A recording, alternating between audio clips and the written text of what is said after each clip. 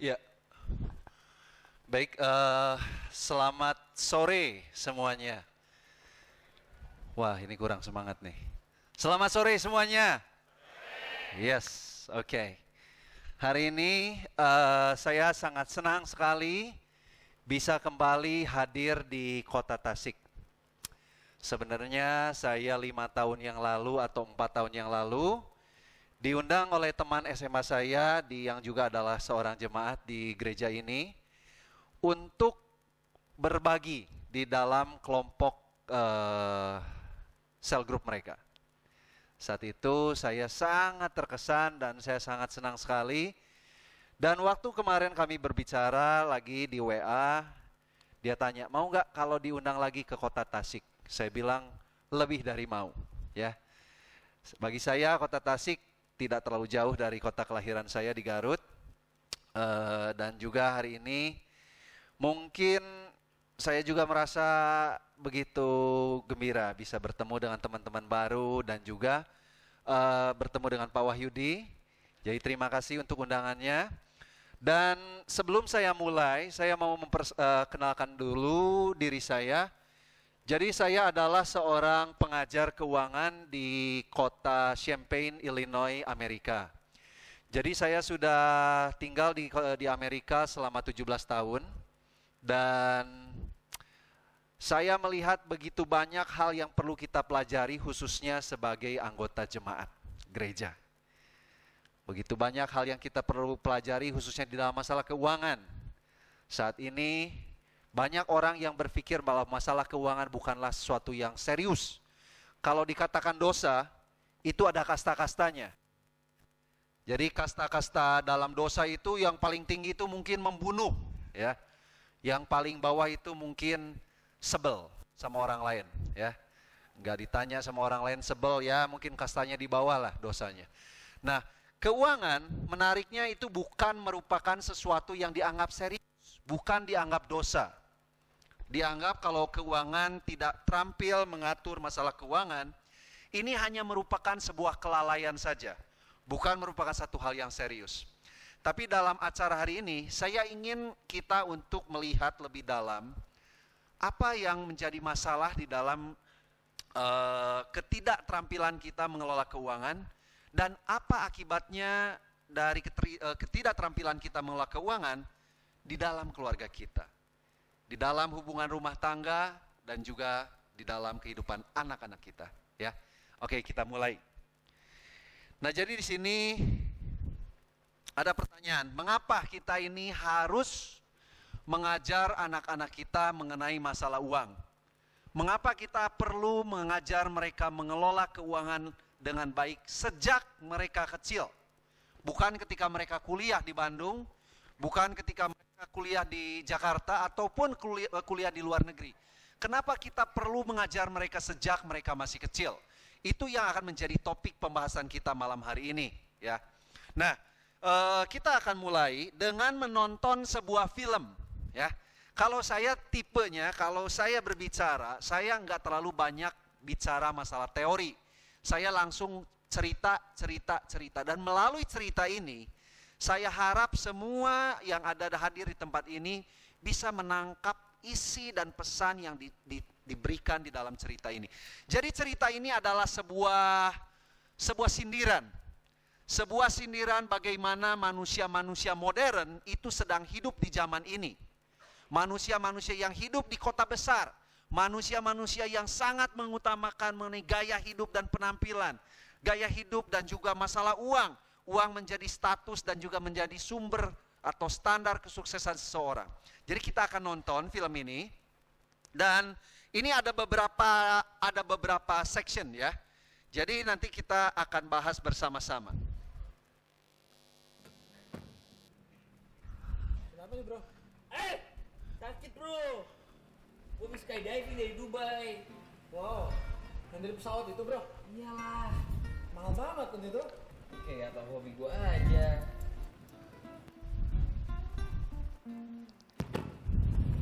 Ah. Masih sakit nih bro. Berarti ke mana tangan kanan bro? Perasaan lu doang kali bro. Ketahuan nih bohongnya dia.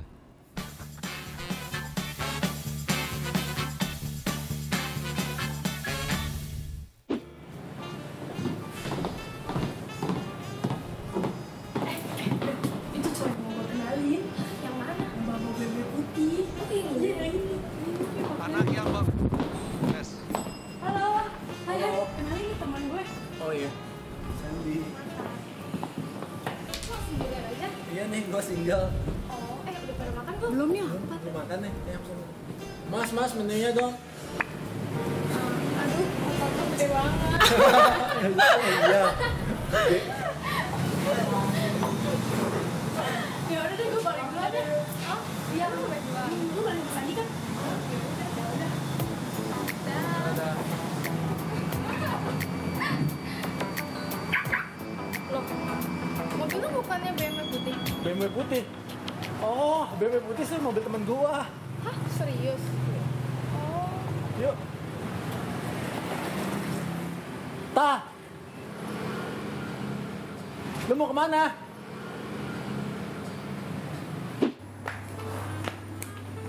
Mari bu, silakan dilihat-lihat.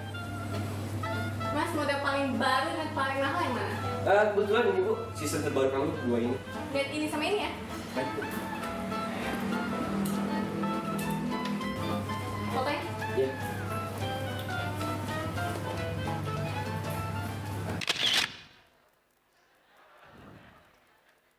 Next, supir gue bakal jemput lu naik helikopter ke sini. Jadi Bener ngomong ya? Ya lu tenang aja lah.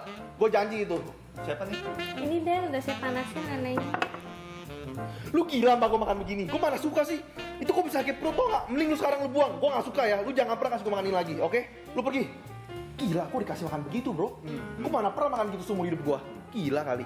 Eh, udah ya. Gue cabut dulu. Oke, bro. Marco lagi kangen sama gue. Oke oke. Sip. Bye bro.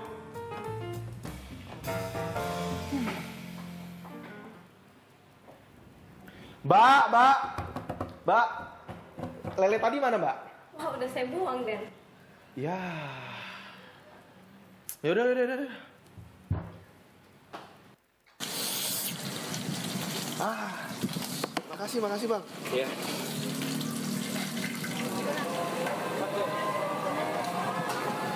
Eh, cacuk mau ngapain lo makan begini? Katanya dulu kan level makan begini ya.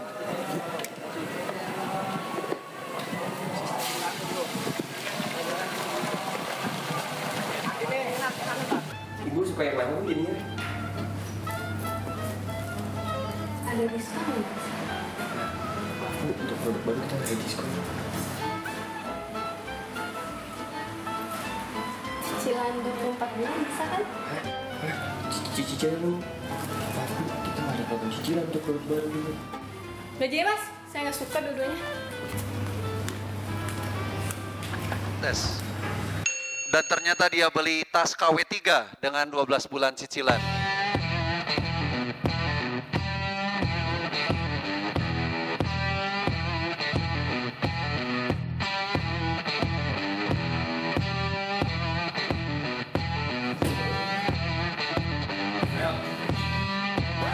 Fotoin dong.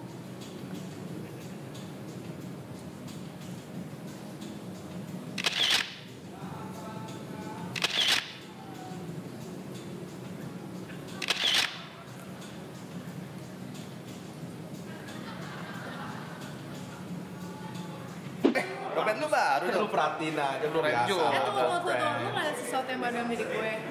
Oh, oh my god. Halo guys. Eh kalian lagi pada ngomongin apa nih? Eh, ini biasa nih. Biasa. Fungsinya bagus banget. Bagus bagus bagus. Dompet apaan? Ih, lihat lagi dong Eh kita jadi pergi nggak? sih bagus bagus banget. Ampun lu dari mana sih? Eh, ini Rubia. Gila. Gila ini campuran Rubia sama Safir gitu ya. Gila bagus banget. Fandi, kayak gitu mau temenan sama kita. Dompet kayak gitu. Ih, lo ngobrol ngapain sama kita? Iya. Aduh. Oh guys. Lagi pada ngomongin apa? Eh, eh, gila. Givenchy. Iya. Baru nih. Biasa lah. Friends, man. dari Prancis bro. Gila, eh, abis ini lo ke mana? Eh, gue udah janji sama temen gue. Udah gak usah sama temen lo, kita Iya, aja. udah, aja. Party yuk. Yuk. Yuk. Cabut yuk, cabut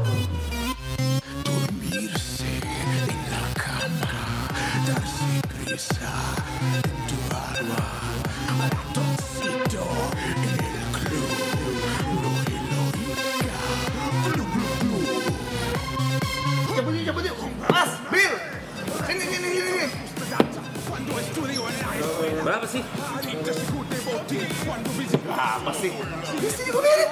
Gitu aja. Mas, sini kamu. Ambil.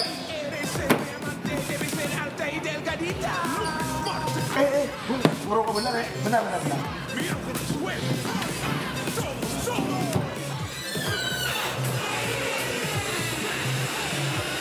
Halo, Halo? Mami. Aku mau pakai kredit card ini. Buat apa? Buat bayar makan nih sama teman-teman. Ya, ya. Enggak, enggak, enggak, enggak. Sok kaya aja ladanya.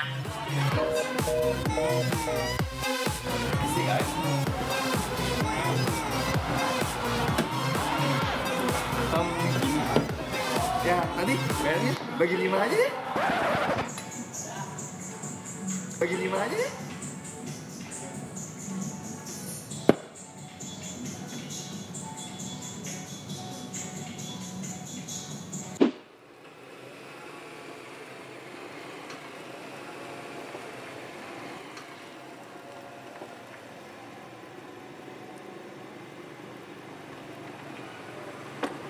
Gila bro, malu gede banget. Ya biasalah. Ada lapangan golfnya mau menangnya di dalam. Oh ya? Gila gede banget. Bro, sorry ya bro. Gue masuk dulu. Oh ya, ngapa ngapa ngapa santai santai ya. ya. Kita duluan ya. Oke oke oke. Oke, thank you lo bro. Gila mundur rumahnya gede banget. Iya parah gede banget. Kita nggak boleh kehilangan teman kayak gitu tuh bro. Iya iya iya iya.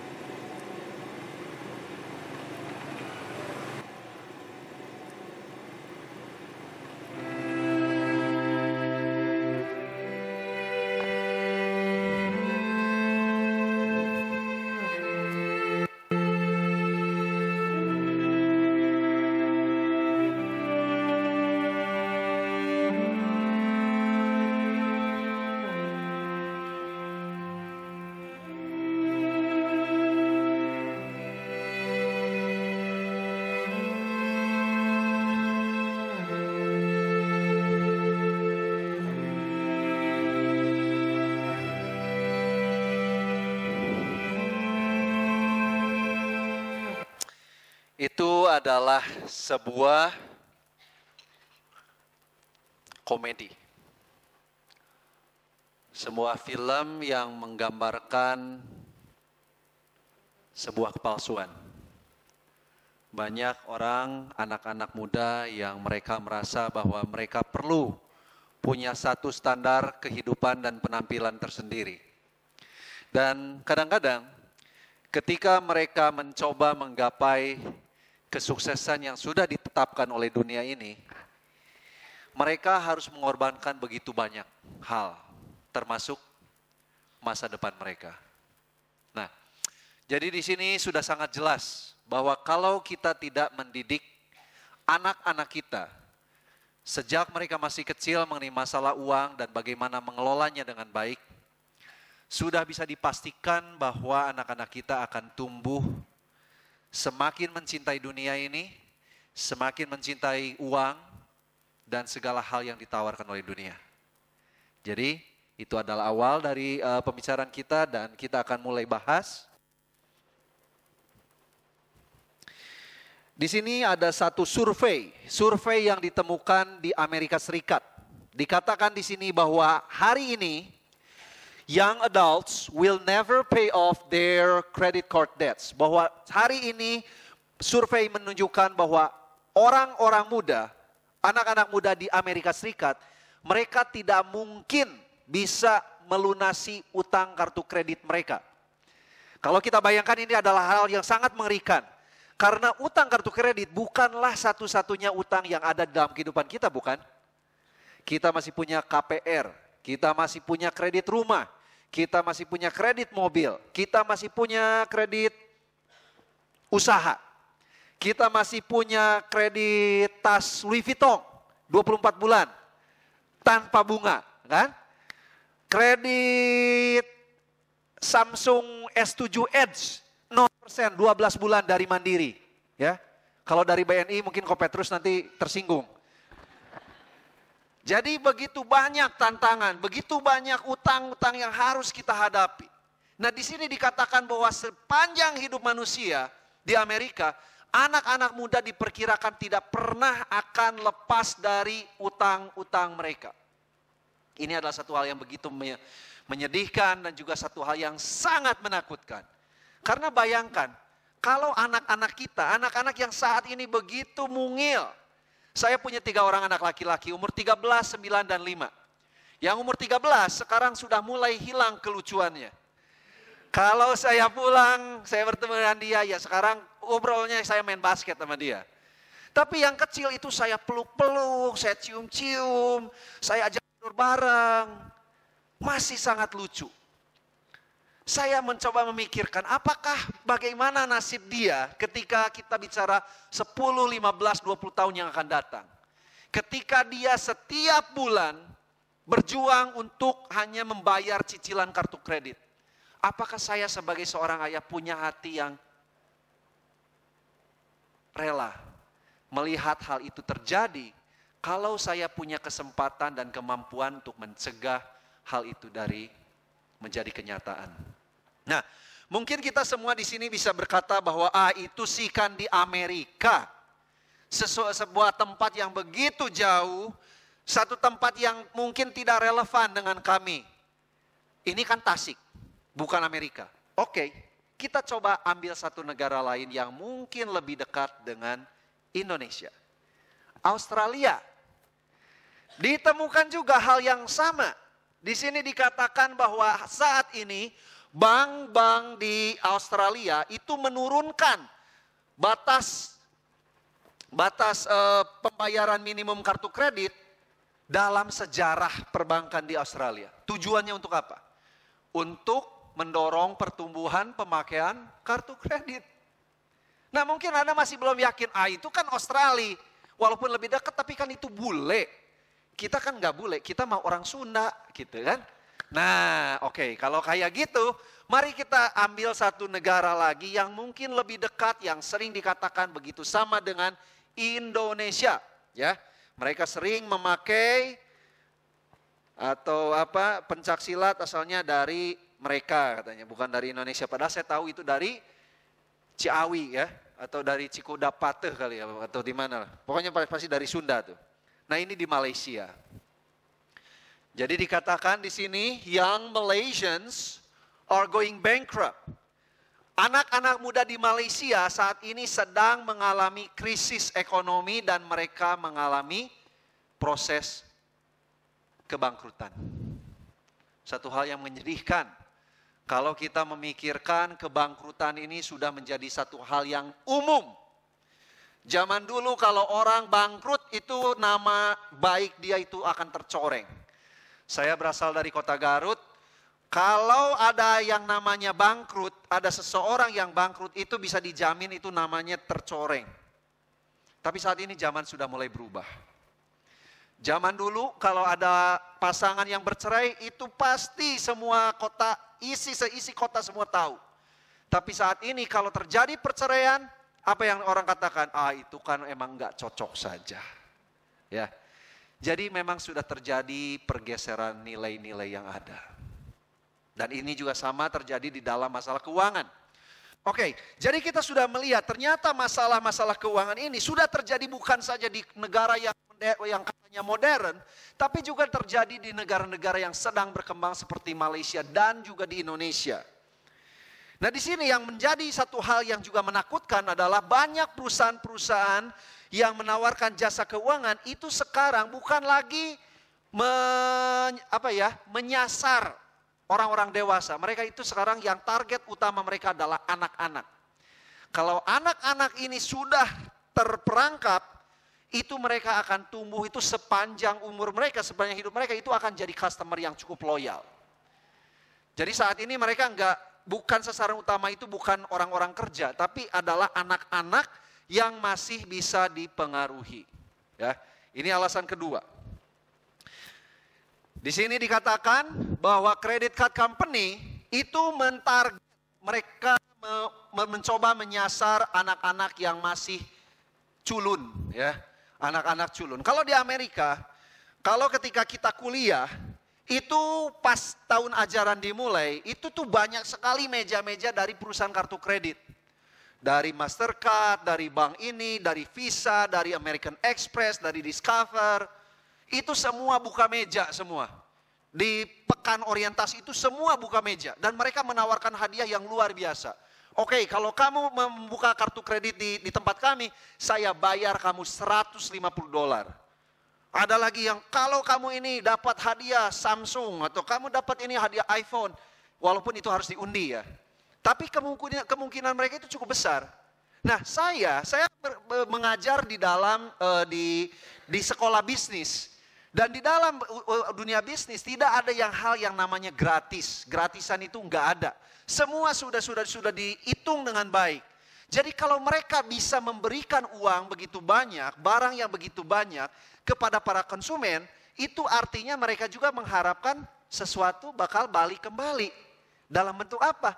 Anak-anak nggak bisa bayar cicilan dengan tepat waktu, mereka bayar denda, bayar bunga, dan itu yang menjadi sasaran dari perusahaan banyak kartu kredit di banyak negara, ya. Nah di sini juga kita lihat saat ini anak-anak sedang dibesarkan di dalam eh, suasana dan juga di dalam komunitas yang semakin merusak. Nah ini contohnya. Jadi mama ajak anak-anak, yuk jalan-jalan, jalan-jalan, yuk kita shopping di sini, shopping di sini. Kamu merasa sedih hari ini? Yuk kita beli tas baru misalnya. Nah memang ini ada satu perbedaan yang sangat menarik antara laki-laki dan perempuan. Kalau laki-laki kayak saya, kalau lagi stres itu kadang-kadang larinya makan, ya, makan ke mie gunung pereng misalnya. Atau misalnya pas ini, wah ya saya apa olahraga, ya itu positif lah kalau olahraga. Tapi kalau yang perempuan kadang-kadang, kadang-kadang saya nggak ngomong semua ya, mungkin di sini nggak ada nih ya. Tapi kadang-kadang eh, wanita di tempat lain, bukan di Tasik, tapi di tempat lain, ketika mereka stres itu mereka belanja. Pokoknya saya mau shopping, karena shopping itu memberikan satu satu perasaan yang gembira gitu loh. Nah memang ditemukan, ditemukan satu penelitian bahwa ketika kita shopping, ada satu hormon kegembiraan yang keluar. Dan ini serius, ini serius nih. Ini ada memang, emang ada satu hormon kegembiraan. Jadi ketika shopping itu ketika kita bayar, cet, wah dapat tas. Apalagi tasnya kalau kantong kresek kalau zaman dulu nggak laku ya. Nggak, nggak gaya gitu bawa kantong kresek gitu loh. Tapi kalau misalnya Louis Vuitton misalnya, Prada, waduh gaya jalannya aja kayaknya kalau bisa tuh diangkat atau masukin kayak tadi kali ya di kepala gitu loh. Karena memang ini satu hal yang sangat menggembirakan. Saya juga kalau jalan-jalan pas pulang dari Amerika datang ke Indonesia itu selalu transit di Hong Kong. Pas saya transit di Hong Kong itu begitu banyak semua toko-toko yang barang-barang bermerek itu semua ada di sana. Saya aja kadang-kadang suka takut gitu loh masuknya. Ini harganya berapa gitu ya. Tapi kalau saya sampai masuk, misalnya saya masuk ke apa ya, Richard Mille, jam tangan yang bisa 10 miliar misalnya. Dan kalau saya beli, kalau ya, kalau nih, kalau saya beli dan saya bawa tasnya, pasti, pasti saya akan angkat tinggi-tinggi gitu loh. Karena supaya semua orang lihat nih, saya bawa Richard Mille, bukan KW 1, bukan KW 2, ini KW 0 alias Alsri. Ya. Ada satu kegembiraan. Nah ini merupakan salah satu budaya yang juga sekarang sering terjadi. Nah jadi kita perlu melihat di sini bahwa ini adalah satu tantangan bagi kita sebagai anak-anak Tuhan, sebagai orang tua yang mengasihi anak-anak kita. Yang berikutnya adalah kita mengalami begitu banyak tantangan dan juga pencobaan yang lebih dari dari hal-hal dan waktu-waktu yang pernah kita lihat sebelumnya. Oleh karena itu kita perlu kita perlu mengajar nilai-nilai kehidupan yang penting di dalam hidup anak kita. Jadi mengajar uang bukan sekedar mengajar mengajar masalah bagaimana cara menabung, bagaimana cara berinvestasi, Bukan juga mengajar mengenai masalah membuat anggaran, tapi kita ingin mengajar mereka mengenai nilai-nilai kehidupan yang ada di dalam atau di balik semua pengajaran keuangan tersebut. Ya. Jadi misalnya kita bicara mengenai masalah menabung. Mengapa saya ingin anak saya menabung? Nah nanti kita akan bahas mengenai masalah menabung. Mengapa anak masalah menabung? Jadi masalah menabung, saya ingin mengajar anak masalah menabung bukan karena mereka perlu menabung, bukan karena untuk mengumpulkan uang. Tapi lebih karena saya ingin mengajarkan nilai kehidupan yang penting, pengendalian diri, pembuatan perencanaan keuangan, dan hidup yang tidak asal-asalan. Itu tiga hal yang saya ingin ajarkan kepada anak melalui menabung. Jadi bukan menabung itu sendiri yang penting, tapi nilai yang ada di belakang menabung itu sendiri. Kita lihat lagi di sini. Ada banyak konsepsi, miskonsepsi, salah pengertian mengenai masalah keuangan. Yang pertama adalah anak-anak itu terlalu muda untuk belajar mengenai masalah uang. Saya waktu di Kota Garut saya beribadah di gereja Hok Im Tong ya. Uh, Injili. Nah, ya kita tahu bahwa gereja Hok Im Tong, Ka Im Tong itu itu Chinese culture yang sangat kuat, sangat kuat sampai hari ini. Gereja Kristus di Jakarta, GKY, itu semua Injil itu kuat sekali Chinese culture-nya gitu.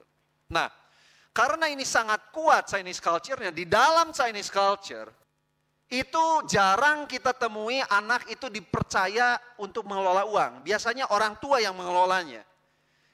Jadi orang tua yang berkata kepada anak, kamu gak usah pusing ngatur masalah uang. Saya yang ngatur buat kamu. Karena kalau saya kasih kamu uang, nanti kamu pasti habiskan. Ya, benar kan? Nah, mama saya pun juga waktu saya masih kecil, dia pun melakukan hal yang sama. Dia itu sulit untuk mempercayai saya mengenai masalah uang. Dan saya juga kebetulan orangnya boros. Jadi ketika saya boros, mama saya makin tarik. Ah kamu emang gak bisa ngatur uang. Udah jangan aja. Begitu. Nah ini satu hal yang menurut saya itu agak kontradiksi. Ketika seorang anak tidak bisa melakukan sesuatu, kenapa kesempatan belajar itu dicabut? Mestinya diberikan lebih banyak lagi, benar nggak? Ya, misalnya nih, anak kita lagi belajar UN, lagi belajar matematika nih. Dia lagi kesulitan ini nih masalah UN gimana. Terus kita, waduh, kamu ini nggak bisa bisa terus ya mengenai masalah matematika. Sini bukunya saya ambil aja, kamu nggak usah belajar. Wah nggak lulus dong UN-nya, benar nggak? Nah ini sebenarnya kalau kita katakan ini konyol, ini sebenarnya hal yang terjadi di dalam kehidupan kita. Ketika anak kita gagal atau masih belum terampil mengelola sesuatu, kita malah ambil kesempatan dia untuk belajar. Udah, saya ambil aja. Kamu ini nggak bisa ngatur. Nanti aja ya, kalau kamu udah gede, kalau kamu udah harus kuliah di Bandung atau di Jakarta atau di mana saja, keluar dari Tasik, nanti kamu mulai dikasih uang. Dan semoga kamu itu jadi pintar sendiri gitu loh. Nah itu kontradiksinya tuh seperti itu. Nah yang berikutnya adalah uang itu nggak penting buat anak. Ngapain gitu loh uang. Uang kan ini anak-anak ini kan sudah makan pagi di rumah, anak-anak ini sudah diberikan semua uang untuk membeli barang-barang misalnya peralatan sekolah, ngapain lagi bawa uang ke sekolah? Ngapain dikasih uang lagi misalnya sehari-hari itu buat apa? Nah itu juga sama alasan mengapa mama saya itu dulu waktu saya kelas 4 kali ya, 4 SD. Saya ingat waktu itu uang jajan saya begitu kecil, begitu kecil sampai saya itu pernah bilang sama mama saya, Mah, mama itu saya sudah dengar dari teman-teman saya, mama itu orang kaya. Kenapa mama itu kok nggak memberikan uang kepada saya lebih banyak lagi? Tunjukkan dong, supaya orang lain tuh tahu bahwa kita tuh orang kaya gitu loh. Nah itu emang pemikiran anak yang sangat sangat lugu ya waktu itu. Culun lah saya kali. Jadi waktu itu saya mengatakan hal seperti itu. Nah tapi saya tidak mengerti, tidak mengerti. Bahwa pada saat itu Masalah uang adalah sesuatu yang masih saya belum terampil dan uang, eh, orang tua saya sendiri merasa bahwa uang bukanlah sesuatu hal yang penting buat anak. Yang berikutnya adalah orang tua berpikir bahwa ngapain kita kasih anak belajar untuk masalah uang? Kan ini bakal diajarin di sekolah. Di sekolah A, sekolah B, sekolah C. Nah, ternyata tahun 2014, tahun 2014 saya diundang oleh eh, badan UNICEF. UNICEF adalah badan dari PBB, eh, Persatuan Bangsa-Bangsa. Benar nggak ya? Persatuan atau perkumpulan ya? Persatuan ya. Wah, kalau sekarang saya ujian IPA udah eh, bukan IPA IPS kali ya sekarang. Kayaknya udah udah gagal nih sekarang. Jadi waktu itu 2014 saya diundang oleh uh, UNICEF untuk menjadi salah satu ahli untuk merumuskan strategi pendidikan nasional dan internasional secara keuangan kepada anak-anak. Nah, waktu itu saya baru tahu ternyata di banyak negara sekalipun di luar, ternyata masalah keuangan itu masih jarang diajarkan di sekolah, termasuk di Amerika. Kita pikir Indonesia saja yang nggak ngajarin. Ternyata di negara lain, baik di Amerika, Kanada, Prancis, itu pun juga tidak terlalu diajarkan. Dan nanti saya akan jelaskan bahwa mengapa keuangan ini bukan sesuatu yang diajarkan di sekolah, tapi harus diajarkan di dalam rumah tangga kita. Dan mengapa yang cara yang paling efektif untuk kita mengajar masalah keuangan kepada anak adalah melalui orang tua. Bukan melalui anak bukan melalui misalnya pelajaran berhitung atau apa, itu bukan. Itu cuma suplemen saja, tambahan saja. Tapi yang inti itu harus didapatkan di rumah tangga dari orang tua. Ya, nanti kita akan bahas itu lebih lanjut. Alasan berikutnya miskonsepsi-miskonsepsi yang ada adalah yang pertama, eh, yang keempat adalah mengapa kita itu meracuni anak-anak kita yang masih culun, yang masih lugu mengenai masalah uang. Banyak orang ketika kalau kita misalnya kalau saya minta Anda untuk tutup mata, atau kita coba aja ya. Kita coba nih. Saya ingin Anda tutup, eh, tutup mata Anda sejenak. Terus saya berkata satu kata dan coba tolong pikirkan apa konotasi apa, kesan apa yang pertama kali muncul ketika saya bicara masalah itu ya, kata itu. Oke? Saya hitung ya, satu, dua, tiga, tutup mata, saya bicara satu kata, kesannya positif atau negatif. Oke? Satu, dua, tiga. Uang. Udah selesai. Gampang ya? Gampang sekali. Siapa yang di sini punya kesan negatif ketika ada kata uang? Silakan angkat tangan. Hebat banget nih. Di Tasik semua positif berarti ya? Positif atau negatif nih? Positif. Waduh, hebat loh. Itu kalau kalau udah positif bagus. Saya puji Tuhan. Tapi masih banyak orang-orang yang ketika mendengar kata uang, kesannya itu negatif.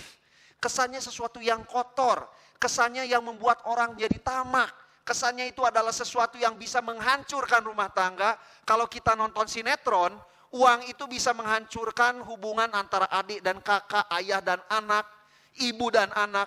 Kemarin ini saya baru membaca satu artikel di surat kabar di Kompas. Jadi kalau Anda ke Jakarta, itu ada satu rumah duka yang namanya The Heaven. Ya, ada yang sudah baca berita itu? Sudah? Belum? Nah, ternyata yang terjadi di sana, anak-anak dari si ibu yang punya The Heaven ini, mereka menuntut ke pengadilan untuk mendeportasi si ibu keluar dari Indonesia. Mereka ingin merebut rumah The Heaven itu, kepemilikan itu dari orang tuanya. Dan setelah berapa lama itu terjadi, proses hukum di, dijalankan, ternyata si ibu itu menang perkara dan akhirnya anak-anaknya itu yang disikat gitu loh. Nah ketika saya membaca artikel seperti itu saya merasa begitu sedih.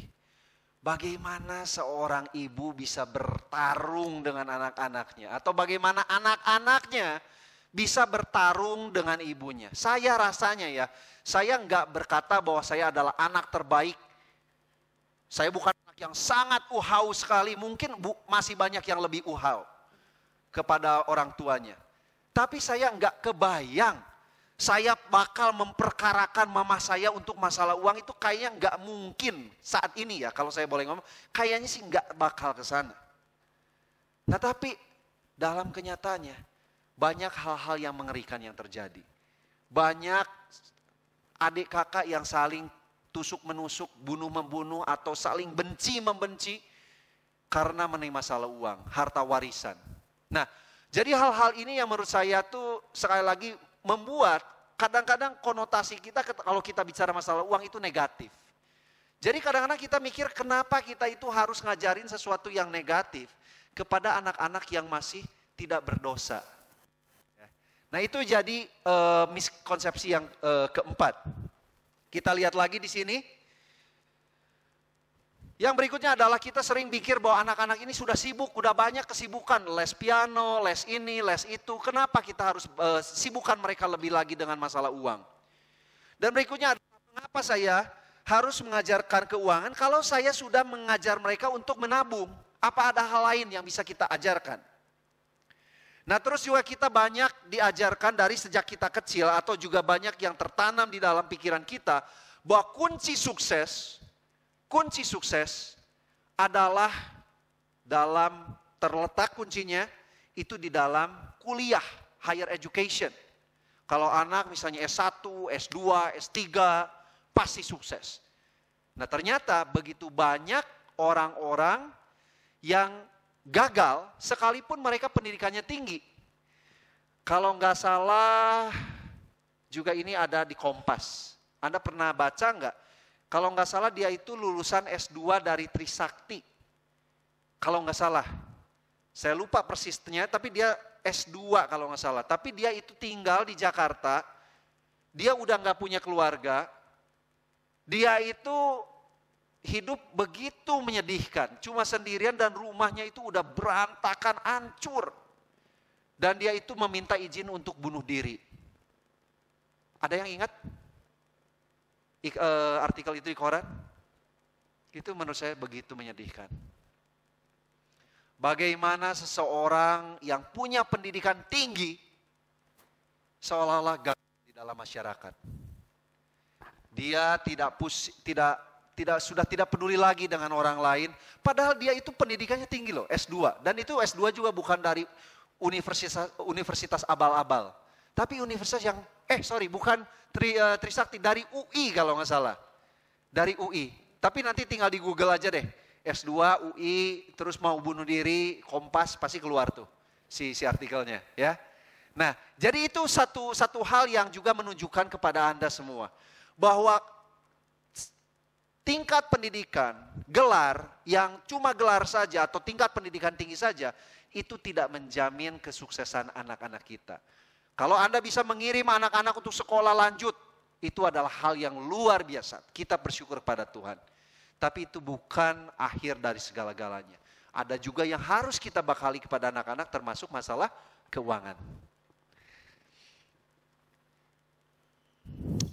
Yang terakhir di sini juga adalah banyak orang-orang yang merasa mereka saya nggak bisa mengajar anak saya masalah uang karena saya pun belum terampil mengelola masalah uang itu sendiri. Ya, ini sering saya dengar. Banyak orang yang bilang, wah, aduh saya sih bukan orang akunting, saya bukan orang keuangan. Gimana saya ngajarin anak kalau saya itu juga nggak punya pengalaman, nggak punya kemampuan. Nah, jangan takut, ya. Karena saya sudah menulis buku dan dalam buku itu saya sudah tuliskan semua cara-cara untuk Anda melatih anak-anak. Jadi tinggal ikuti saja, ya. Anda tidak punya masalah, tidak punya background dalam masalah keuangan, itu nggak jadi masalah. Yang penting ada komitmen. Oke? Yuk kita lanjut. Di sini dikatakan ada satu quote, ada satu ucapan yang berkata, kamu nggak usah kasih tahu sama saya, prioritas hidup saya apa itu kamu nggak usah kasih tahu. Yang perlu kamu lakukan, kamu tinggal kasih lihat sama saya cara kamu membelanjakan uang kamu dan saya bisa tahu prioritas hidup kamu itu apa. Gitu. Jadi cara kita membelanjakan uang kita itu akan mencerminkan prioritas hidup kita. Ini adalah satu satu quote yang sangat powerful. Kita mungkin bisa berkata kita cinta Tuhan. Kita bisa berkata wah saya itu cinta sesama saya. Tuhan saya mengasihi mereka. Tapi misalnya yang saya lakukan sehari-hari adalah membelanjakan uang lagi, lagi, dan lagi hanya untuk kepentingan saya sendiri. Sebenarnya kita cinta uang, cinta orang lain atau cinta diri kita pribadi. Nah itu bisa terlihat dengan jelas melalui cara kita membelanjakan uang kita.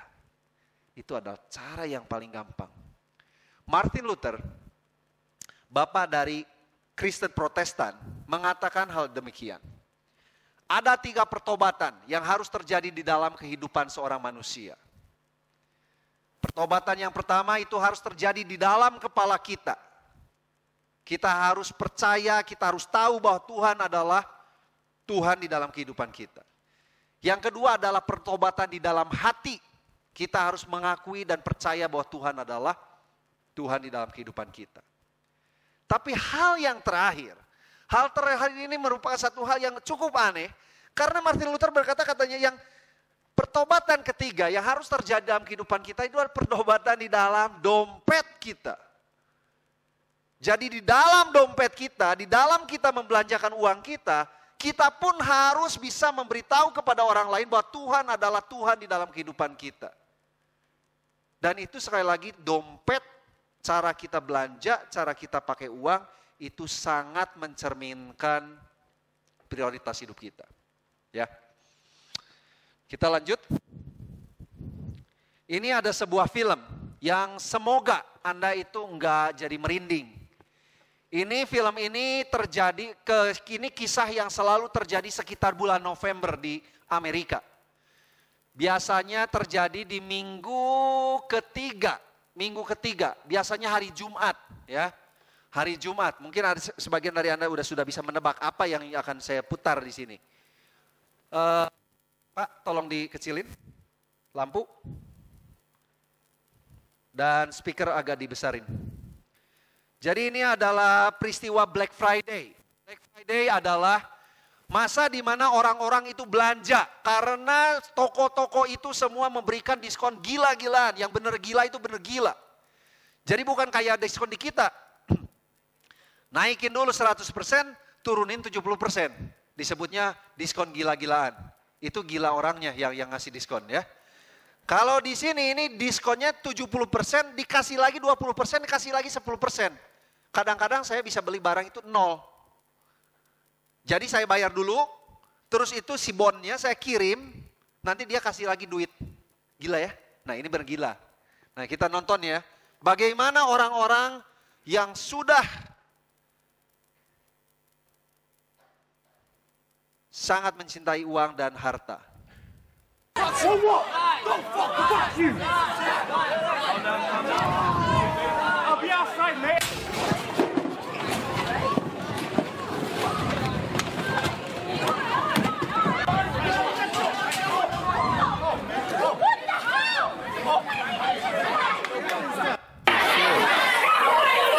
Nah ini terjadi di Victoria Secret.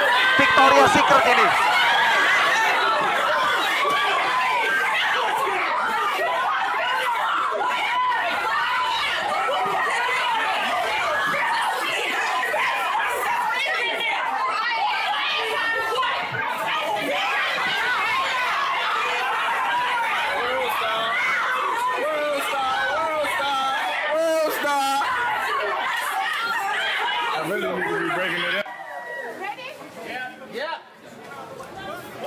Ada ada orang yang terinjak-injak di sebelah kiri.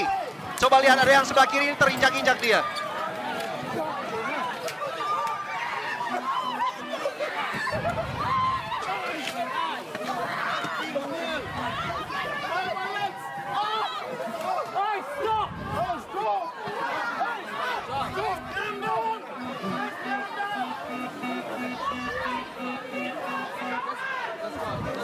Banyak wartawan yang mengabadikan acara-acara seperti ini dianggapnya lucu.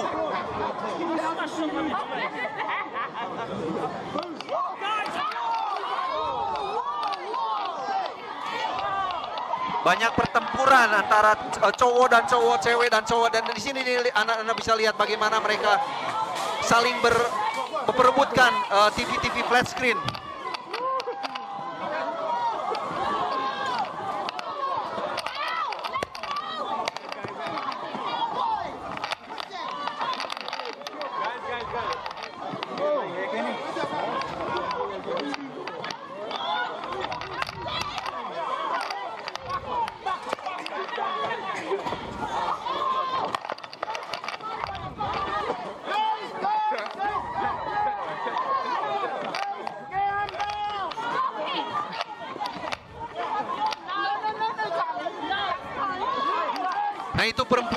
Tadi dengan cowok itu. Nah ini cowok dengan cowok.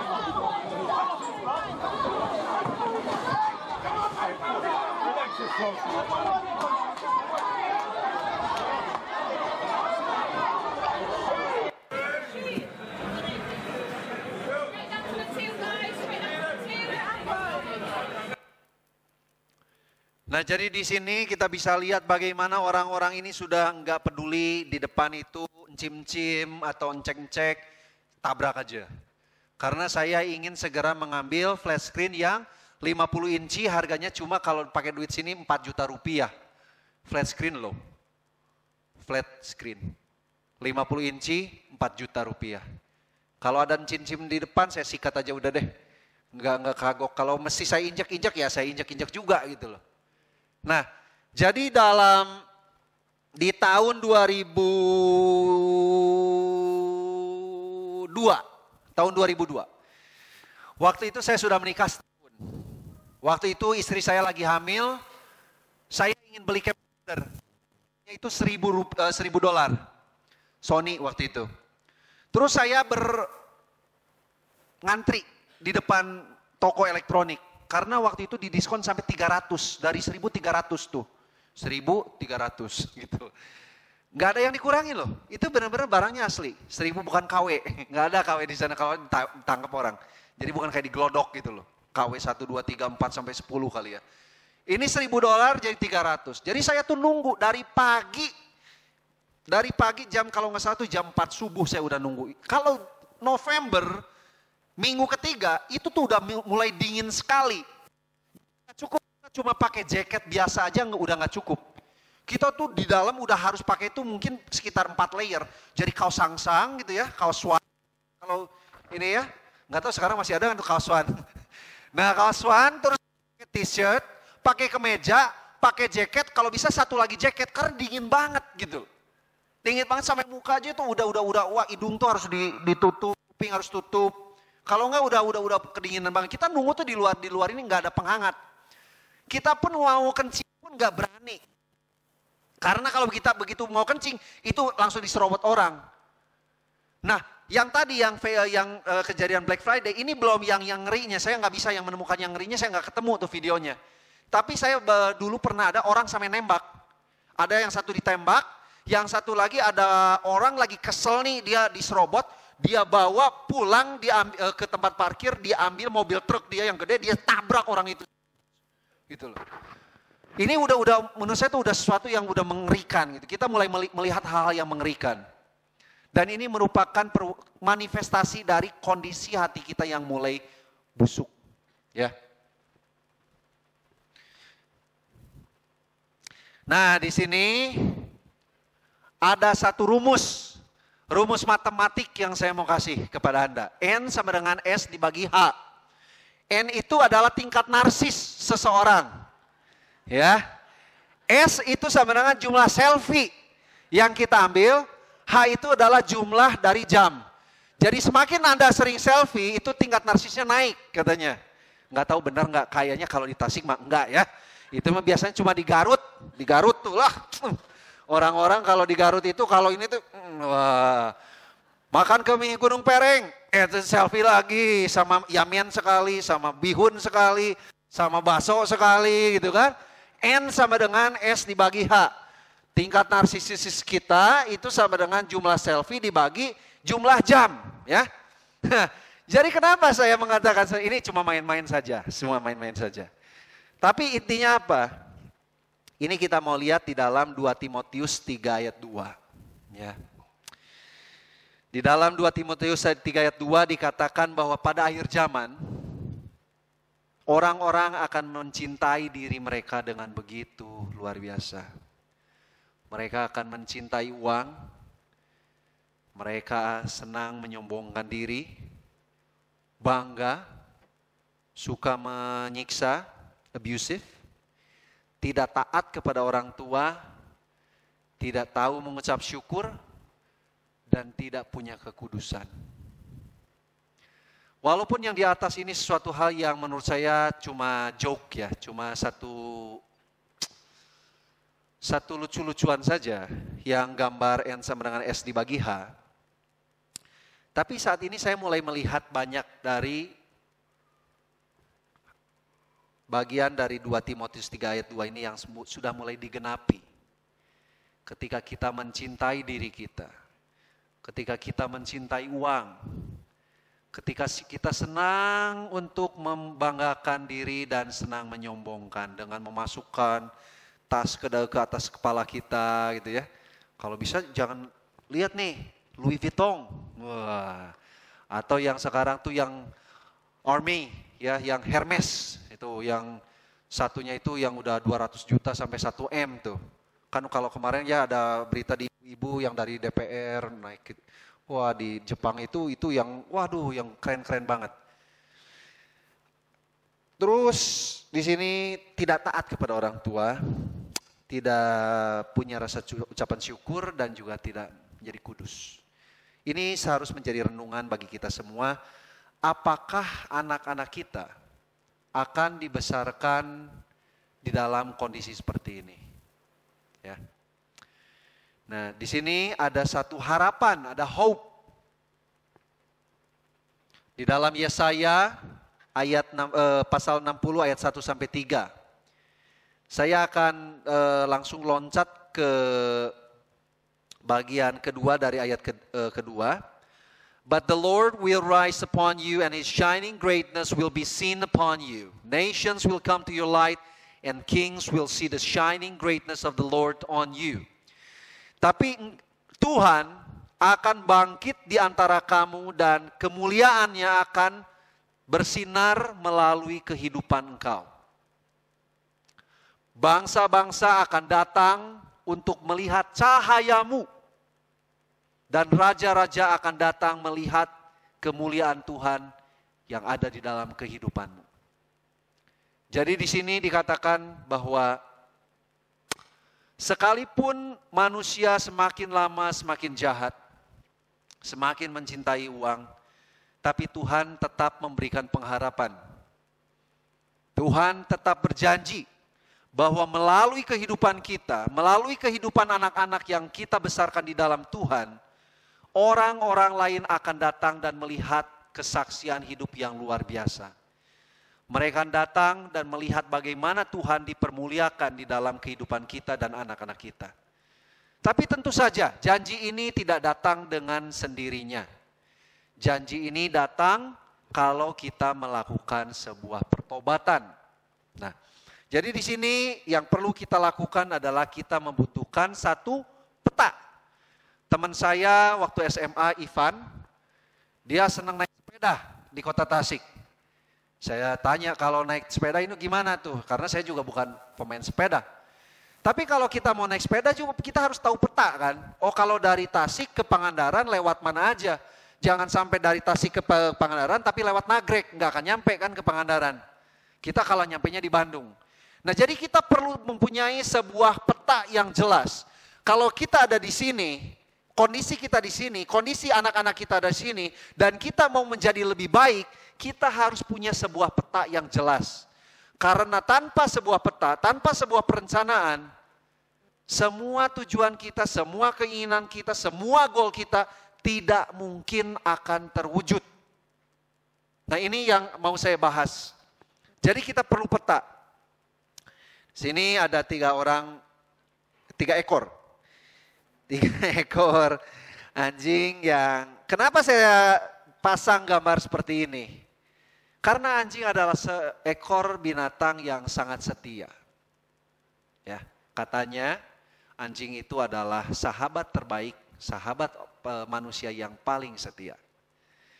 Jadi yang mau saya katakan di sini adalah kita itu perlu menjadi penolong bagi teman-teman kita. Teman-teman kita perlu menjadi penolong bagi kita sendiri. Di dalam kita berubah, di dalam kita memperbaiki kondisi keuangan kita, di dalam kita mengajar anak-anak kita masalah keuangan, kita perlu melakukan kelompok kecil. Kita nggak bisa jalan sendirian. Kalau jalan sendirian itu pasti akan sangat sulit. Tapi kalau kita ber, ber, ber- bersama-sama, misalnya bertiga atau berempat, itu akan ada satu power. Tuhan pun berkata ketika ada dua tiga orang berdoa di dalam nama aku, aku akan hadir. Mengapa itu Tuhan katakan seperti itu? Apakah Tuhan tidak hadir kalau kita berdoa sendiri saja? Tuhan hadir. Tapi Tuhan melihat bahwa komunitas itu punya peranan penting di dalam pertumbuhan rohani seseorang, ya. Dan itu pun juga sama di dalam masalah keuangan. Nah, ini adalah satu konsep yang kalau Anda dari tadi belum sempat potret, nah ini dipotret, ini boleh ya. Ini dipotret boleh karena menurut saya ini bagus sekali. Jadi ini konsep yang sangat simple, sangat sederhana, tapi konsep ini sangat powerful, sangat powerful.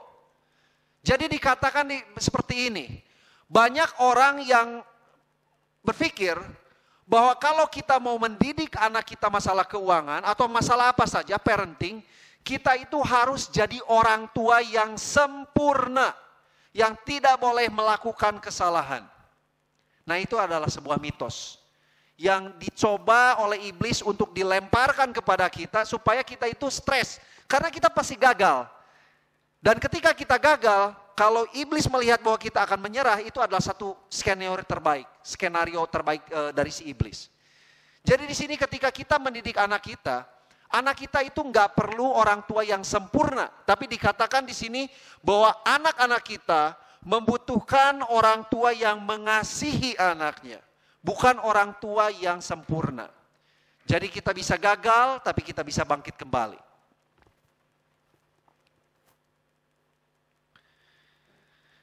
Nah, ada tiga hal yang saya mau bahas. Saya mau agak cepat di sini. Yang pertama, kita perlu meminta hikmat. Bagaimana kita bisa mengajar anak-anak kita, melatih dan mendidik anak-anak kita dalam masalah keuangan.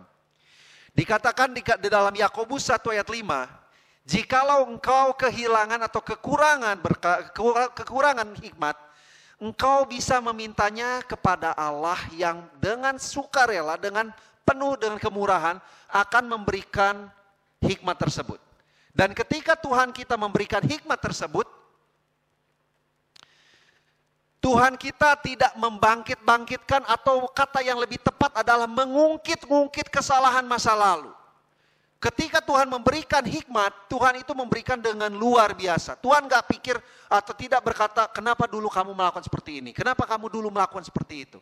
Ketika kita bertobat, Tuhan tidak mengungkit-ungkit masa lalu kita, tapi Tuhan memberikan hikmat yang daripada Tuhan. Oke?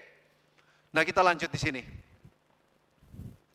Yang kedua yang perlu kita lakukan adalah mengenal dan menerima diri Anda sendiri.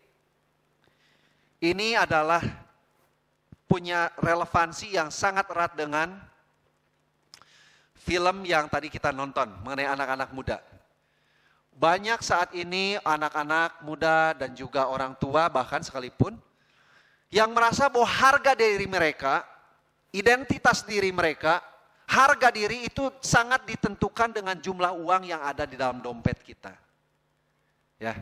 Itu makanya kenapa kita kadang-kadang punya uang tapi nggak cukup misalnya. Dan kita mencoba bersaing dengan teman kita. Teman kita dia beli misalnya Avanza, kita ikut beli. Dia naik ke Kijang, kita juga beli Kijang. Dia beli Pajero, kita beli Pajero. Dan itu terjadi terus-menerus seperti itu. Pertanyaan saya di sini adalah, apakah harga diri kita, identitas diri kita sedang ditentukan oleh orang lain? Sedang ditentukan oleh komunitas kita. Kalau kita misalnya mengantar anak ke sekolah, Apakah kita diri kita, harga diri kita, sukacita kita ditentukan oleh saya bawa tas apa, dia bawa tas apa. Kalau semua pakai Michael Kors, saya juga harus pakai Michael Kors, misalnya, ya. Nah, jadi itu adalah pertanyaan yang harus kita jawab sendiri. Apakah kita merasa aman di dalam Tuhan? Apakah kita merasa kenal dengan diri kita sendiri? Dan yang lebih penting adalah kita apakah kita bisa menerima diri kita sendiri? sekalipun kita tidak mempunyai barang-barang yang dimiliki oleh orang lain. Oke. Okay? Nah, di sini adalah Mazmur 139 ayat yang ke-23. Tetapi apa e, di sini dikatakan Tuhan selidikilah aku dan kenalah hatiku, ujilah aku dan ketahuilah semua pemikiran-pemikiranku yang ini kata anxious Anxious ini kalau tadi dalam ini tuh cuma ujilah pikiran dan kenalah pikirin pikiranku. Itu dalam terjemahan Indonesianya. Di sini agak berbeda, Bapak Ibu Saudara. Di sini dikatakan my anxious thoughts. Jadi bukan sekedar pikiran-pikiranku, tapi di sini adalah pikiran-pikiranku yang galau. Jadi anxious itu adalah galau. Bukan sekedar pikiran-pikiranku, tapi kenalah pikiran-pikiranku yang galau. Anxious.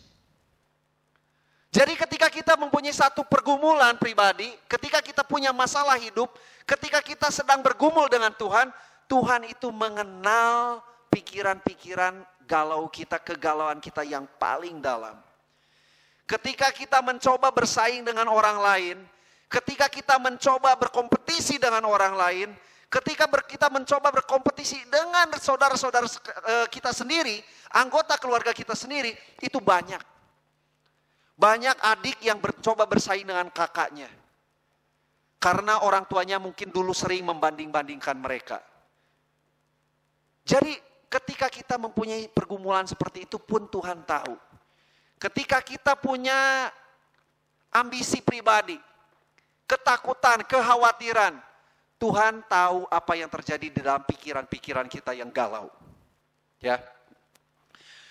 Jadi kenalah dan tes apakah kita sudah mengenal dan menerima diri kita sendiri.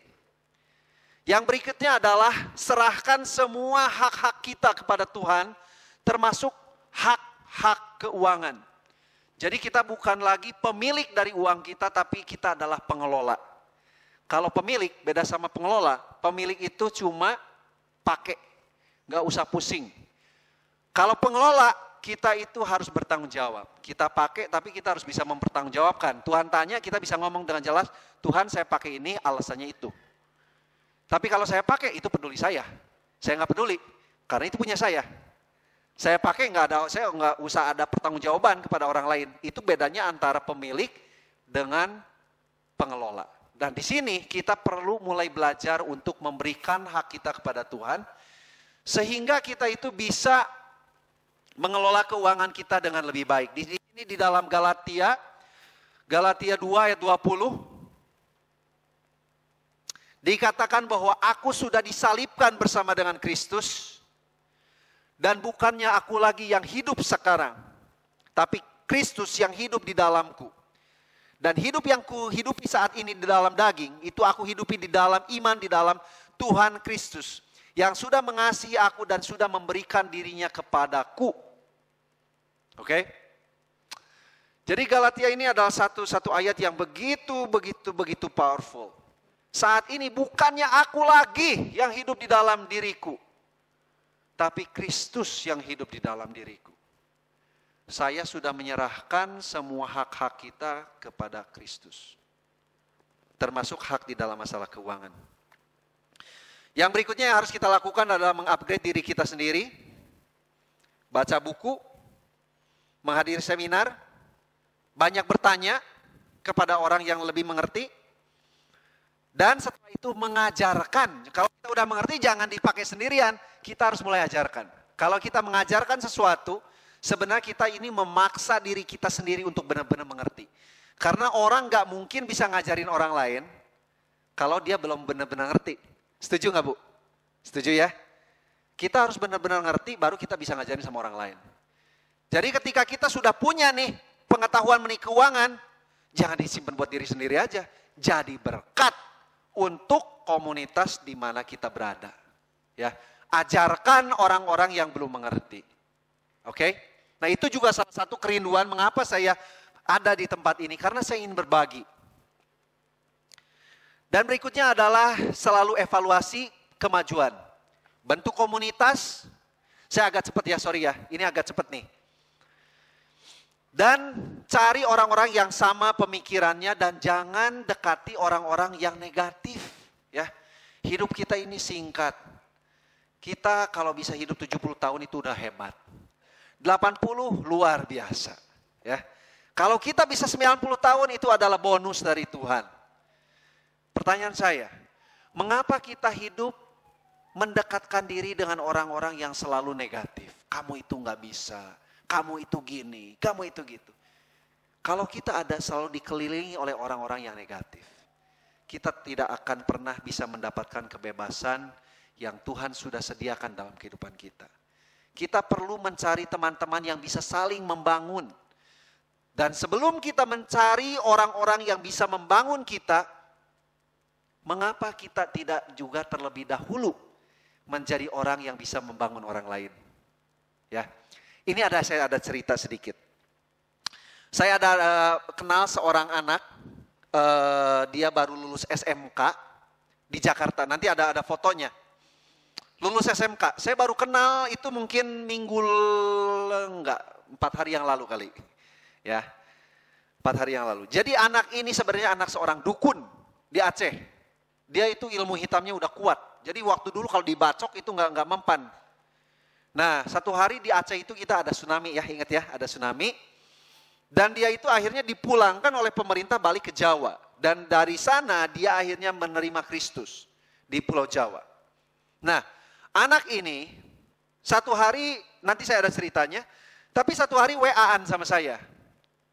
Terus saya kan sering WA nih sama orang lain. Kadang-kadang kan kita cuma WA itu kadang-kadang juga nggak tahu ya. Kayaknya kalau kita lagi keondangan terus ngerasa nggak ada yang kenal ah WA-an gitu kan. Cari waktu ngisi waktu gitu loh. Nah terus saya mikir, bener ya, kalau saya WA-an, bisa nggak sih saya pakai waktu saya WA-an ngomong sesuatu yang positif. Nah terus saya bilang sama anak itu, namanya Jasmari. Saya bilang, si Jasmari ini dia cita-citanya mau jadi profesor katanya, makanya ngobrol sama saya. Terus saya bilang gini, Jasmari, saya bilang, saya percaya pada diri kamu. Saya tulis di WA nih, Jas, saya percaya sama kamu. Saya tahu bahwa kamu ini adalah calon seorang yang penting. Dan kamu akan melakukan pekerjaan-pekerjaan yang besar buat Tuhan di dalam kehidupan kamu. Ya. Terus setelah itu saya tulis, Jasmari, jangan pernah menyerah di dalam kehidupan kamu. Kamu akan menemui begitu banyak tantangan, tapi jangan pernah menyerah. Percayalah kepada Tuhan, andalkan Tuhan di dalam setiap kehidupan kamu, dan kamu pasti akan melakukan banyak-banyak hal yang begitu luar biasa untuk Tuhan. Singkat. Saya nulis itu nggak ada lima menit. Memang saya kalau teks saya kurang jago ya. Saya seneng ngomong. Kalau gini-gini waduh kadang-kadang pegel. Jadi teman-teman saya kalau, kalau kelamaan teks saya akhirnya telepon mereka udahlah capek gitu ya. Tapi lima menit. Tapi saya merasa aduh senang gitu. Nah nggak berapa lama kemudian dia balas WA saya. Dia bilang gini, Coach Chandra terima kasih ya hari ini katanya. Coach Chandra sudah neraktir saya makan. Itu juga ada cerita, nanti saya cerita. Tapi yang lebih penting terima kasih untuk semua pengajaran hari ini. Dia bilang saya, wah ini yang mengharukan saya nih. Dia tulis gini di WA. Saya Jasmari, anggota Gereja Kristus Gang Taruna, berjanji di hadapan Tuhan bahwa saya tidak akan pernah berhenti berjuang. Saya tidak akan lelah untuk menggapai cita-cita dan rencana Tuhan yang ada dalam kehidupan saya. Terima kasih. Waduh, itu begitu saya itu baca WA, saya nangis. Saya pikir, aduh Tuhan, kok suka cita banget ya. Sesuatu yang simple, aduh cuma WA kayak gitu, saya juga nggak tahu, kayaknya simple banget gitu loh. Tapi saya ingat di dalam kehidupan saya pribadi, saya pernah punya orang-orang yang mengatakan kata-kata iman, kata-kata yang positif, kata-kata yang memberi pengharapan. Saya percaya kepada kamu. Nah ketika saya baca seperti itu, saya kenapa saya itu nggak melakukan hal yang sama. Jadi kalau saya tadi bilang, mengapa kita itu harus menjadi orang yang lebih dulu bisa memberkati orang lain? Kan kita mau diberkati nih, cari orang-orang positif. Tapi pertanyaannya kenapa kita nggak jadi duluan jadi orang yang positif? Memberkati teman-teman kita gitu loh. Saat ini teknologi begitu hebatnya. Anda bisa berkomunikasi dengan orang yang begitu jauh tempat secara secara fisik tapi Anda tetap bisa berkomunikasi dengan luar biasa. WA, WeChat, Instagram, semua itu bisa bisa dilakukan. Tapi sering kali kan kita cuma yang yang ringan, yang lucu gitu kan. Karena kadang aduh takut gimana kalau saya nanti dianggap lebay atau tapi kalau Anda menyisihkan waktu sedikit saja setiap hari untuk mencoba reach out orang-orang yang mungkin nggak pernah ketemu dengan Anda setelah sekian lama, tapi bilang saya memikirkan engkau, saya berdoa untuk kamu, saya mengasihi kamu. Itu adalah suatu hal yang luar biasa. Kalau kita lakukan seperti itu, itu dampaknya akan begitu luar biasa. Kalau di gereja ini saja deh, misalnya ya, di GBI Tentara Pelajar atau di GBI lain atau di gereja lain, kita mulai memperhatikan jemaat-jemaat lain yang mungkin saat itu sedang dalam masalah. Itu yang menjadi akan satu jadi kegerakan yang luar biasa. Oke, yuk kita lanjut lagi. Jadi kita saling menolong dan menjadi teman sejati bagi uh, kita. Nah yang berikutnya adalah kita harus membuat perencanaan. Karena tanpa perencanaan kita akan gagal. Kalau kita gagal melakukan perencanaan, kita juga akan merencanakan untuk gagal. Nanti jangan takut kalau ada yang butuh uh, PowerPoint itu nanti saya bisa share ya. Jadi jangan usah takut kalau ketinggalan atau apa nggak usah takut. Nanti saya bisa share. Nah uh, perencanaan ini nanti ada videonya. Anda bisa bisa nonton di uh, YouTube saya, YouTube channel. Itu YouTube saya itu beruang cerdas ya. Jadi kalau Anda masuk ke Beruang Cerdas itu saat ini ada 41 video itu free. Anda bisa nonton. Itu lamanya cuma 2-3 menit, gampang sekali. Jadi nonton lagi nunggu eh, eh, apa 21 gitu ya, mau nonton film, ya nonton satu video, dua video udah udah cukup ya. Anda bisa nonton di sana. Nah ini adalah saya waktu tahun 2007.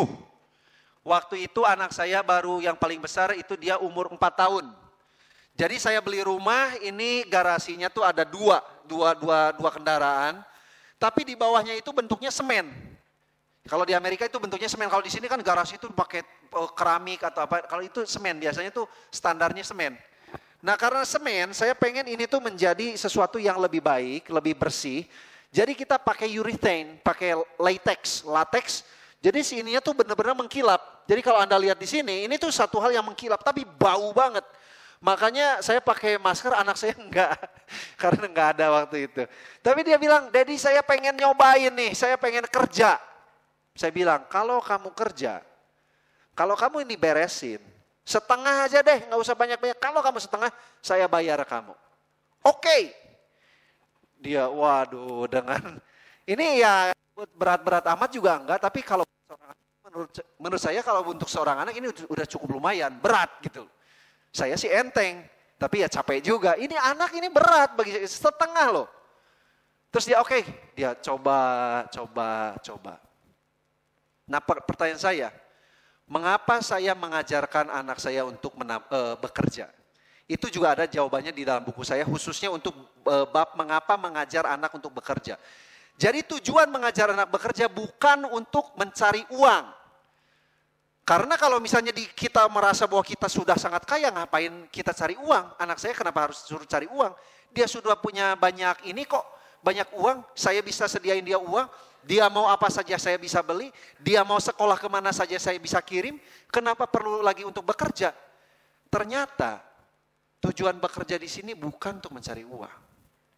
Salah satunya itu adalah untuk menemukan passion, ya. Nah jadi di sini saya mau cerita mengenai mengapa kita e, harus membuat anak itu bekerja. Yang pertama adalah supaya mereka menghargai uang. Tahun juga sekitar tahun 2007, waktu itu kalau musim semi, musim semi itu kan dari musim dingin ke musim panas. Ini perantaranya musim semi. Waktu musim semi, waktu itu tuh biasanya sering dipakai oleh orang-orang bule untuk cuci gudang. Jadi mereka kan beli itu banyak. Waduh, banyaknya kalau bule beli itu banyak banget gitu loh kan. Cicil, cicil, cicil, cicil, banyak banget. Tapi kadang-kadang nggak dipakai. Jadi kalau spring, uh, spring, kalau musim semi itu orang tuh cuci gudang. Jadi barang-barang tuh dikeluarin semua dijualin. Jadi kadang-kadang misalnya vakum gitu ya, harganya 100 dolar itu bisa dijual tuh kadang-kadang cuma 20 dolar. Wah hoki saya dong hoki orang Asia. Jadi biasanya yang suka cari-cari kayak gitu tuh adalah orang Asia dan orang Meksiko. Kalau bule-bule ya ada juga sih, tapi biasanya yang kere-kere. Kalau yang bule-bule kaya mah jarang yang seperti apa Graciel kayak gitu. Kalau kita kan seneng banget kan orang Asia, waduh ya hoki pisan, eh menang non teh vakum gitu kan 100 dolar jadi 20 dolar gitu. Wah kita cari-cari ya. Nah waktu itu di uh, komplek kami itu kan kompleknya termasuk ya termasuk komplek elit lah. Jadi orang-orang yang tetangga-tetangga saya itu memang mereka barangnya bagus-bagus. Jadi banyak banget yang datang gitu loh dari jam 6 pagi sampai jam sore itu selalu penuh orang-orang yang keliling-keliling beli-beli-beli kayak gitu. Nah saya jadi ada ide. Saya ngomong sama si anak saya si yang, per, yang pertama si Jason. Jason, kamu ini ada kesempatan bisnis kata saya. Mau nggak bisnis? Oh, mau mau mau mau. Gimana caranya? Oke, kita nanti kayak kalau kita kayak di sini Carrefour kali ya. Kita beri ke Carrefour, beli minuman Beli minuman, besok kamu jualan di sana. Kan orang-orang kan lewat-lewat gitu kan haus. Nah kamu jualan. Oke, oke, oke, oke. Nah sama saya diajarin juga cara berdagang kan. Saya bilang kalau saya dulu kan di, di Garut kan toko. Jadi mama saya dari kecil ngajarin saya cara dagang. Kalau anak saya kan nggak ada kesempatan dagang ya. Jadi saya ajarin, nah supaya laku, kamu kasih itu hadiah untuk orang-orang yang datang, yang beli, kasih hadiah kasihnya misalnya permen atau apa. Jadi kita beli lagi permen. Nah besoknya jam 7 kita mulai. Anak itu bangun dari setengah 7. Waduh masih ngantuk. Tapi berdiri, Jason ayo cepetan kita mau dagang hari ini. Wah dia semangat. Oke oke oke. Nah kita pakai itu di, di depan uh, meja kecil. Meja kecil kita duduk dia nunggu. Lima menit nggak ada yang datang gitu ya. Sepuluh menit nggak ada yang datang gitu. Terus ada yang datang, cuma eh jualan apa? Oh minuman, ternyata minumannya salah-salah bikin. Kita bikin minuman dingin, padahal itu juga pagi-pagi dingin kan. Jadi nggak laku. Waduh gimana ya, mau bikin coklat panas juga udah kagok gitu ya. Ini udah dibikin gede gini. Ya udah nanti tunggu kalau udah panas ini bakal laku Jason. Dia tunggu lagi, tunggu lagi, tunggu lagi. Sejam, dua jam. Akhirnya laku. Wah begitu laku tuh kita sampai high five. Wah asik kita bisa jualan Jason. Iya oke okay, kasih hadiah. Wah dikasih apa yang permen yang lollipop itu tuh kasih. Ini ini hadiahnya. Padahal itu modalnya aja si lollipop mungkin udah lebih dari keuntungan yang didapat gitu ya. Tapi kata saya nggak apa-apa kamu ini belajar di sini. Nah jadi tujuan pertama kita mengajar masalah e, bekerja kepada anak. Supaya anak itu belajar menghargai masalah uang. Nah di sana ketika saya di akhir kita paling cuma waktu itu cuma jualan cuma 3 dolar kali. Padahal biaya saya ke ke Carrefour, barang-barang segala macam mungkin itu ada ada 20 30 dolar. Jadi rugi lah kalau secara itu. Tapi secara pelajaran saya ngerasa luar biasa terberkati. Dan dia bilang saya tanya, saya tanya waktu itu dia kan masih umur 4 kan. Hari ini kamu yang belajar apa? Terus dia bilang, Dad, making money is difficult. Cari duit tuh gak gampang. Waduh, saya begitu saya dengar dia ngomong kayak gitu, senang sekali. Saya bilang kalau saya harus ngalurin 200 dolar juga rela saya untuk ngajarin satu pelajaran yang penting, yang kalau diajarin di buku nggak akan dapet, nggak akan masuk gitu loh. Ya. Terus ada contoh lagi, satu lagi, satu hari si Jason ini kan seneng kalau ke toko itu pasti minta duit. Minta duit untuk beli sesuatu kan. Satu hari dia pengen beli truk yang gede. Itu harganya 175 dolar, itu gede dan itu wah bagus banget deh. Terus saya bilang gini, Jason, saya mau beliin, tapi dengan syarat kamu nggak boleh uh, jajan selama tujuh bulan. Wah, dia waktu itu udah umur tujuh. Dia mulai mikir, tujuh bulan gua nggak jajan ke toko, waduh susah gimana. Tapi akhirnya dia setuju. Dan mulailah kita menunggu. Kita mulai menunggu sehari, dua hari, tiga hari. Kalau pas mau jajan, Daddy mau mau jajan ini gini. Eh, kamu mau beri caterpillar enggak? Oh iya iya, oke oke oke. Enggak jadi. Kalau dia lagi pengen-pengen banget, saya bawa ke toko mainan. Kalau untungnya kalau di Amerika toko mainan itu semua dibuka gitu loh. Kalau di sini kan semua disegel gitu ya, atau buku disegel gitu. Aduh susah banget, rese banget. Aduh ini susah gimana? Kalau kayak gitu, udah kamu main aja di sini sing sing puasok. Yang kita belanja dulu, kamu main di sini sejam dua jam boleh nggak apa-apa. Jadi dia main, udah gitu, yuk, yuk kita pulang. Kita pulang gitu loh. Nah, sebenarnya di sini saya sedang mengajarkan apa?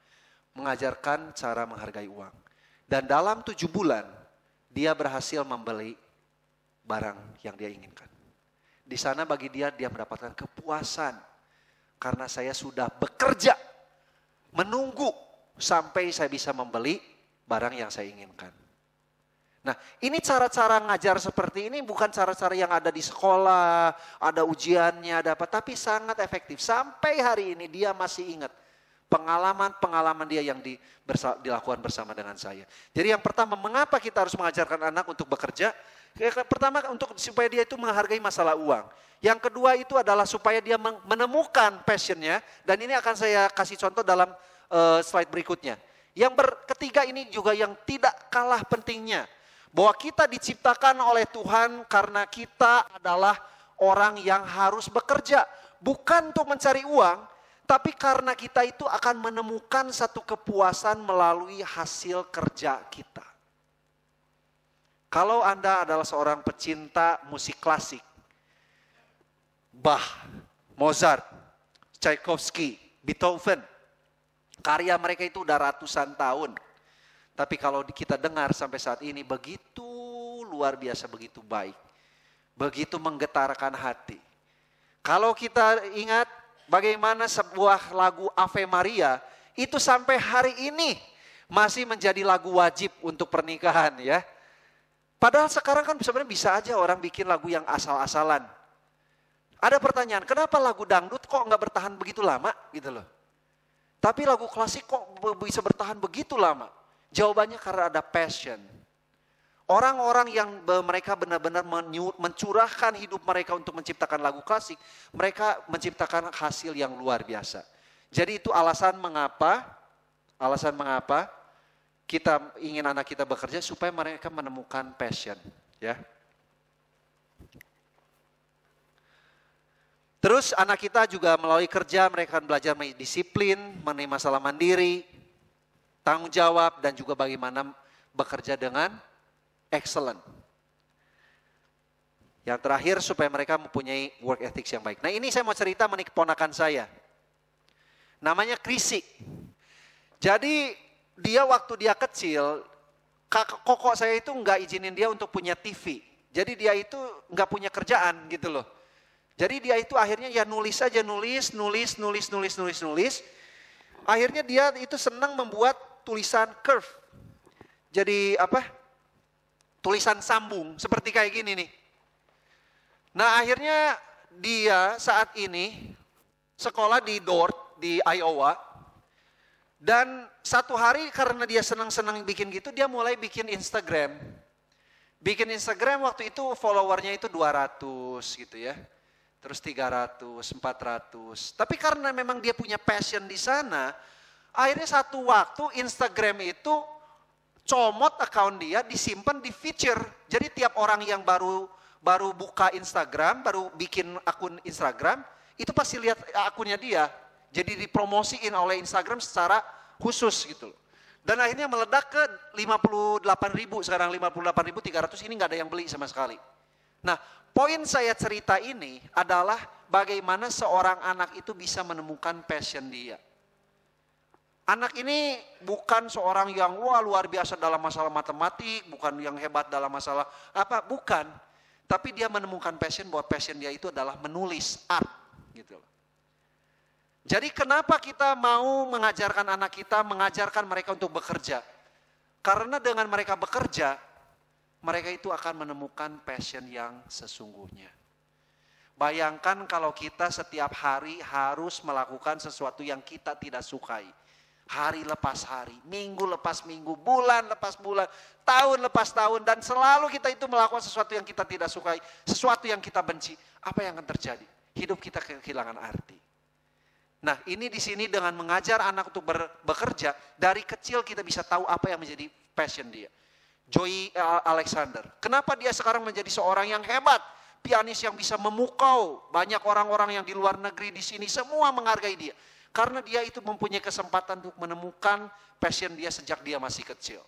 Bagaimana itu bisa terjadi? Ya. Nah, jadi semua yang saya ceritakan ini adalah alasan mengapa kita harus mengajar anak untuk bekerja. Bukan untuk masalah uang. Uang adalah hal yang akan datang dengan sendirinya kalau mereka mempunyai satu pekerjaan dan menghasilkan karya yang luar biasa. Yang berikutnya adalah mengapa kita harus mengajar anak untuk menabung. Ya. Yang pertama karena mereka itu harus belajar bahwa uang itu nggak gampang. Nah ini yang sulit. Kadang anak-anak ini nggak ngerti masalah uang. Jadi saat ini saya mengajar tiga orang anak saya, saya kasih mereka uang jajan. Saya kita akan bahas mengenai uang jajan. Perlu nggak kita kasih anak uang jajan? Ada orang yang bilang perlu, ada orang yang bilang jangan. Ya, kalau menurut saya itu sangat perlu, sangat perlu. Nanti saya akan jelaskan. Yang kedua, kenapa kita mengajar anak untuk menabung? Karena mereka itu belajar, harus belajar untuk mengontrol diri mereka sendiri. Masalah beli, jangan beli, tunggu atau jangan. Itu harus mereka harus belajar mengontrol diri sendiri. Dan ini bukan saja dalam masalah keuangan, orang yang bisa mengontrol di dalam, e, diri sendiri, dikatakan di dalam firman Tuhan bahwa mereka itu jauh lebih hebat daripada orang yang menaklukkan kota. Jadi pengendalian diri itu adalah sesuatu yang sangat sulit dan sangat dihargai oleh Tuhan. Ya, mengendalikan diri kita sendiri. Yang berikutnya adalah mereka itu belajar untuk membuat perencanaan untuk tujuan di masa yang akan datang. Jadi nggak mikirnya sekarang, sekarang, sekarang, sekarang. Zaman ini adalah zaman instant gratification. Saat ini harus harus sekarang. Jadi kalau kita, mam, papi, mami, saya pengen beli sekarang. Nah zaman sekarang itu semua harus sekarang. Itu mengapa juga salah satunya banyak terjadi hubungan seks di luar nikah. Saya ada keinginan, ini ada pacar saya, ayo kita lakukan sekarang. Karena ini tidak bisa mengontrol diri sendiri dan semuanya tujuannya itu adalah tujuan sekarang. Saya ingin memuaskan keinginan saya sekarang. Tapi nggak melihat, oh nanti tuh ada hal yang jauh lebih penting saya itu harus belajar menunggu. Nah, dengan mengajarkan anak untuk menabung, sebenarnya kita secara tidak langsung juga mengajar mereka untuk bisa melihat jauh ke depan bahwa ada hal-hal yang lebih penting yang mereka harus mulai pikirkan dari sekarang. Jadi saya juga ajarkan anak saya untuk menunggu, membuat perencanaan jangka pendek, jangka menengah, jangka panjang. Sebenarnya saya juga nggak mau ya kayak gitu ya kayaknya aduh jadi anak saya tuh kok ribet banget gitu ya. Harus gini, harus gitu, harus gini, harus gitu. Nggak apa-apa. Sekarang kita mendidik anak itu pasti nggak ada yang happy itu nggak ada. Kalau kita ngajarin yang benar tuh pasti nggak nggak happy. Tapi satu saat ketika kita lihat mereka lihat balik, kalau udah dewasa lihat ke belakang, mereka baru bisa merasa bersyukur. Saya waktu diajar sama papa mama saya juga banyak yang aduh sebel ini, sebel itu, kok gini, kok gitu gitu. Tapi sekarang saya bisa merasakan semua manfaat itu. Ya. Jadi anak-anak perlu untuk belajar mengenai masalah menabung. Nah ini contohnya. Yang berikutnya adalah masalah uang saku. Mengapa kita perlu memberikan anak uang saku? Pertanyaannya adalah kalau Anda tidak memberikan anak uang saku, bagaimana mereka bisa berlatih untuk mengatur uang yang mereka miliki kalau mereka nggak punya uang? Gimana suruh mereka ngatur uang kalau mereka nggak punya uang? Nggak mungkin bisa. Gak mungkin kita selama 18 tahun dari anak dari kecil sampai misalnya mereka apa lulus SMA kita nggak kasih mereka uang saku, tapi waktu kuliah kita menuntut mereka untuk bisa ngatur uang, nggak bisa. Jadi poin saya adalah kita perlu memberikan anak itu kesempatan untuk mengatur uang. Jadi di sini uang saku nggak boleh terlalu kecil. Karena kalau nggak kalau e, terlalu kecil apa yang diatur gitu loh. Baru sehari aja udah habis apa yang diatur. Jadi harus gede. Nah makanya kalau remaja-remaja di atas semoga jadi happy ya. Kalau sekarang orang tuanya dikasih, puji Tuhan. Terima kasih Tuhan sudah mengirimkan Pak Chandra ke sini sehingga uang kami jadi gede katanya. Tuh langsung kan tepuk tangan. Tepuk tangannya keras dong. Tapi tepuk tangannya buat Tuhan ya, bukan buat bukan buat saya.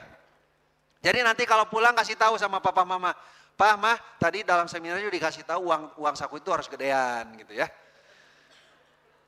Mungkin orang tua pertanyaannya jadi akan takut. Kalau saya kasih anak saya uang terlalu gede, gimana kalau habis? Nah itu justru poinnya gitu loh. Harus biarkan mereka juga sampai habis. Kalau nggak habis, mereka kan juga nggak ada pengalaman buruknya ya, benar nggak? Harus ada dong pengalaman buruk, misalnya apa ditagi-tagi orang, itu nah, harus ada. Kemarin saya baru bicara di eh, Mekarwangi. Setelah selesai, saya ngobrol dengan seorang jemaat. Saya nggak tahu jemaat di sana atau jemaat gereja lain ya. Tapi intinya itu saya punya utang yang begitu besar. Sekarang tiap bulan untuk cicil utangnya saja, bunga utangnya saja sudah nggak cukup. Kata saya luar biasa, waduh gimana ya kayak gitu. Terus dia bilang, saya pak setiap hari udah nggak bisa damai. Tiap hari dikejar-kejar penagih utang. Tiap hari diteleponin. Tiap hari saya itu ribut dengan eh, dengan istri saya. Gimana saya harus harus bisa keluar dari masalah ini. Nah, jadi sekali lagi, kenapa kita memberikan uang saku kepada anak kita? Karena kita memberi kesempatan untuk mereka itu mengatur. Jadi sebelum mereka keluar turun gunung nih, nanti kita latih dulu sekarang. Kalau sampai mereka salah nggak apa-apa, mending salah sekarang ketika masih ada dalam keluarga daripada nanti salah di masyarakat digebukin orang gitu loh. Kalau sekarang benar, mereka nggak akan ada masalah di kemudian hari. Kecil kemungkinannya, lebih kecil. Tapi kalau kita di keluarga wah di semua diperhatiin, semua diapain, dipenuhi. Satu saat mereka ke, melakukan kesalahan di, di, di luar itu fatal, ya. Kan sekarang juga banyak ada yang pembunuhan gara-gara masalah uang. Kemarin waktu saya di Jakarta, itu di Jakarta Barat ada daerah Serpong itu ada or, anak mahasiswa baru gantung diri. Saya nggak tahu masalahnya apa, saya nggak tahu. Tapi waktu saya lagi di sana saya juga kaget itu gantung diri dan langsung masuk ke media. Nah, pertanyaan saya, mengapa anak itu sampai nekat bunuh diri? Menurut saya, mungkin sekali masalahnya adalah masalah keuangan. Ya. Terus kita lihat begitu banyak eh, apa masalah-masalah yang aduh masalah sosial gitu loh. Ada orang gini gitu. Saya saya nggak berani ngomong yang sebenarnya banyak anak kecil di sini ya. Tapi banyak hal-hal yang negatif yang terjadi karena orang-orang mengalami masalah finansial. Jadi dengan kita memberikan kesempatan kepada anak untuk mengatur ke keuangan mereka, sebenarnya kita itu sedang melindungi masa depan mereka. Oke? Okay?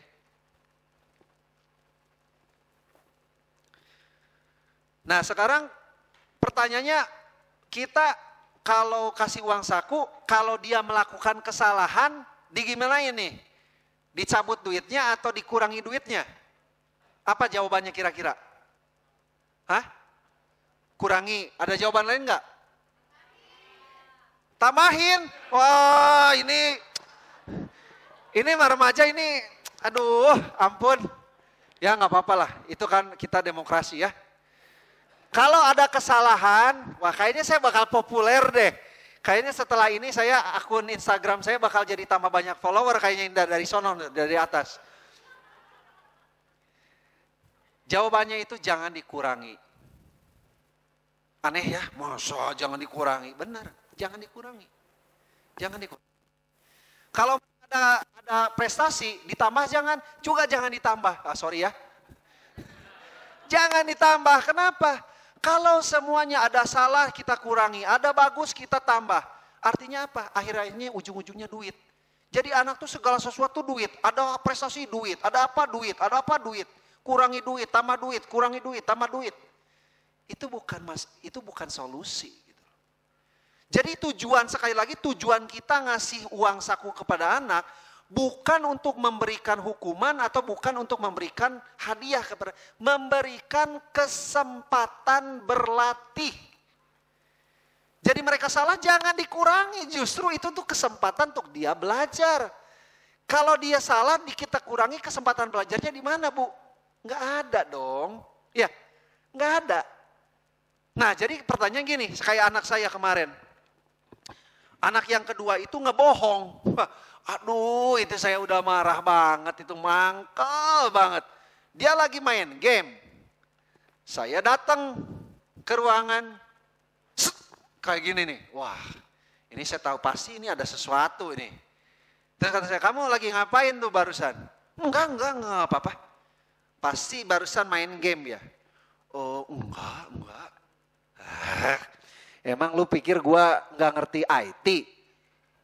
Eh, itu kan Firefox, eh, ini ini kan Chrome kan begitu itu recover like the last uh, close like application, tep keluar gamenya. Nah lu main ini lu langsung mukanya, lo kok bisa? Nah, katakan sekali, wah lu ngebohong nih. Waktu itu godaan saya yang paling utama apa? Dihapus uang sakunya kan. Tapi saya pikir, eh kalau dihapus nanti dia kesempatan belajarnya gimana dong? Terus kata saya, oh enggak, oke.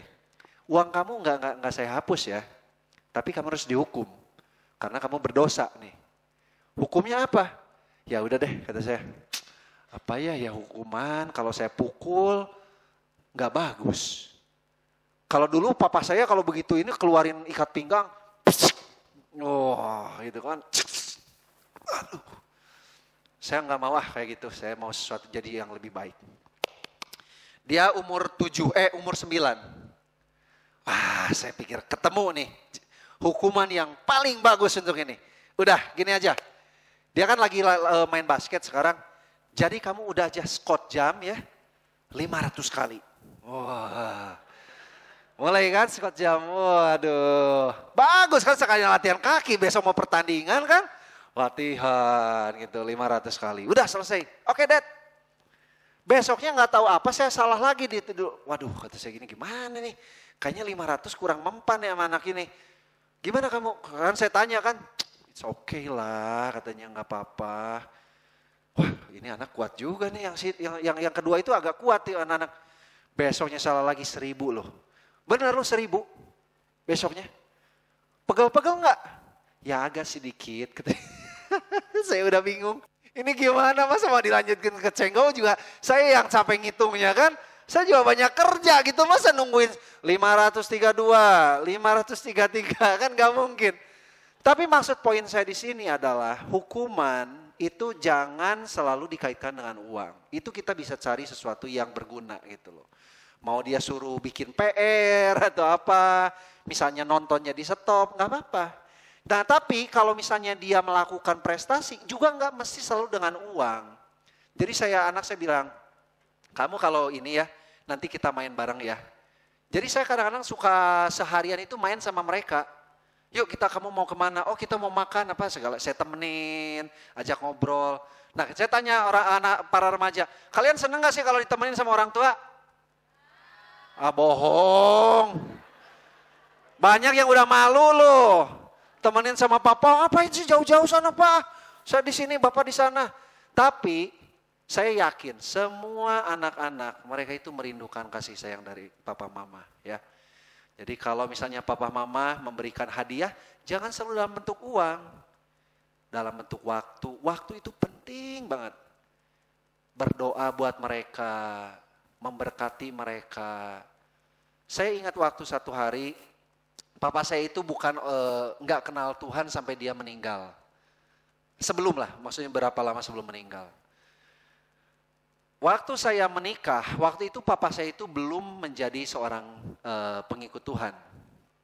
Tapi waktu dia, uh, waktu kami menikah, saya itu minta satu hal sama papa saya. Pak, saya mau supaya papa itu memberkati saya, berdoa memberkati saya itu adalah bekal yang jauh lebih besar daripada sekedar harta. Papa saya juga bingung gimana cara berdoanya gitu. Tapi diminta nih, akhirnya dia berdoa. Dan bagi saya itu adalah salah satu, kalau misalnya orang bilang saya sukses, saya juga nggak tahu. Tapi kalau orang bilang saya sukses, salah satu penyebabnya adalah faktor utamanya karena ayah saya berdoa untuk saya. Ya. Jadi kalau misalnya kita kasih hadiah kepada anak, Kan bisa aja kita ajak dia main. Atau kita, kamu mau ngapain hari ini? Mau ke mall? Yuk, saya temenin. Kamu main uh, apa? Kalau dulu sih apa sih yang yang di mall tuh yang kayak kita loncat-loncat gitu, yang ada nyala-nyala tuh. Ya dance dance competition apalah gitu-gitu, ikut aja udah. Saya sama teman saya sama anak saya, kamu mau main apa? Gua temenin. Gitu loh. Nah itu bagi kadang-kadang juga konyol-konyolan gitu. Tapi menurut saya itu sesuatu hal yang perlu dilakukan misalnya mancing bareng atau apa itu berkesan gitu loh. Mungkin anak-anak ngerasa saat ini agak kagok, it's okay. Tapi kalau anak-anak merasa kagok itu artinya kita itu nggak terlalu dekat dengan mereka. Kalau kita dekat dengan mereka, itu tidak akan ada namanya penolakan dari anak kepada ayah itu nggak ada. Jadi saat ini juga saya mulai terlibat dalam gerakan ayah dan anak. Jadi gerakan ayah dan anak ini kita mencoba untuk kembali mengembalikan hati bapak kepada anak dan hati anak kembali kepada bapak. Untuk memperdamaikan mereka. Karena saya yakin bahwa anak-anak itu nggak ada yang ingin jauh dari orang tuanya kalau tidak ada masalah. Biasanya mereka ingin jauh karena ada masalah. Kalau nggak ada masalah itu mereka itu ingin ingin selalu mendapat berkat dari orang tua. Oke? Nah kita lanjut.